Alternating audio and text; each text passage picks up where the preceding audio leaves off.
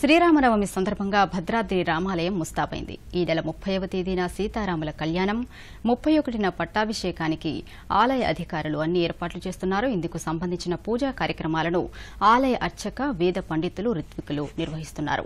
అందులో భాగంగా రెండు రోజుల ముందుగా జరిగే అగ్ని ప్రతిష్ట ధ్వజారోహణం కార్యక్రమం ఆలయ సన్నిధిలో వైభవంగా జరిగింది. మహావిష్ణువుని వాహనమైన గరుత్మంతుని పటాన్ని ధ్వజారోహణం వేడుకలో భాగంగా ధ్వజస్తంభంపై ఎగురవేశారు. ఈ నెల ఇరవై తొమ్మిదిన సాయంత్రం ఎదుర్కోళ్ళ వేడుకను నిర్వహించేందుకు ఏర్పాటు చేస్తున్నారు. స్వామివారి కళ్యాణం పట్టాభిషేక మహోత్సవానికి భక్తులు పెద్ద సంఖ్యలో తరలివస్తారని అందుకు తగినట్టుగా లడ్డూలు తలంబ్రాలు సిద్దం చేస్తున్నారు. తెలుసు మార్చి ముప్పయో తారీఖు మార్చి ముప్పై ఒకటో తారీఖు. అంటే మార్చి ముప్పైయో తారీఖు శ్రీరామనవమి సందర్భంగా మరియు శ్రీరాముల వారి కళ్యాణము. మరియు ముప్పై ఒకటో తారీఖు ఈసారి ఏదైతే వస్తుందో పన్నెండు సంవత్సరాలకు వచ్చేటువంటి మహాపుష్కర పట్టాభిషేకం జరుగుతున్న సందర్భంగా భక్తులందరికీ అందరూ కూడా మన భద్రాచలను సందర్శించాలని ముఖ్యంగా అందరికీ ప్రార్థిస్తున్నాను. తర్వాత మనందరికీ తెలుసు మనకు ముఖ్య కార్యక్రమాలన్నీ స్టార్ట్ అయ్యాయి. తర్వాత తలంబ్రాలు కలపడము అట్లాంటివి. తర్వాత ఇరవై రెండవ తారీఖు మనకు ఉగాది రోజు నుంచి కూడా ముఖ్యమైనటువంటి కార్యక్రమాలన్నీ ఇక్కడ మొదలు పెట్టడం జరుగుతుంది. తర్వాత మనకు అన్ని యాగశాలలో అన్ని నిర్మించుకున్నాము. మనము శ్రీరామనవమి సందర్భంగా తలంబ్రాలను అందరినీ ఇంటింటికి చేర్చే కార్యక్రమాన్ని ఇంతకుముందు రూపొందించడం జరిగింది.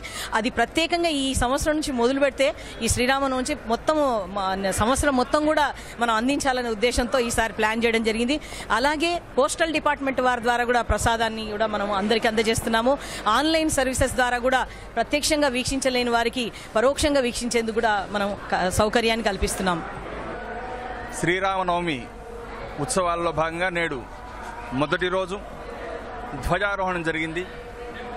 ముక్కోడి దేవతల్ని కూడా ఆహ్వానం పలికేందుకు గాను గరుత్మంతుడు ఆకాశ మార్గాన విహరిస్తూ నేడే అందరికీ కూడా ఆహ్వాన పత్రికలు అందజేసి వారందరినీ కూడా తీసుకురావడం జరుగుతుంది. సాయంత్రం దేవతాహ్వాన కార్యక్రమం ఉంటుంది. ప్రత్యేకంగా ఈ ధ్వజారోహణ కార్యక్రమంలో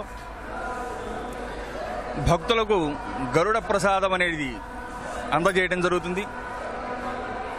ఈ గరుడ ప్రసాదాన్ని ప్రసాదాన్ని ఎవరైతే స్వీకరిస్తారో వారు సకల దుష్ట బాధల నుంచి కూడా తొలగింపబడి మంచి ఆరోగ్యాన్ని పొందుతారు అనటంలో ఎటువంటి సందేహం లేదు.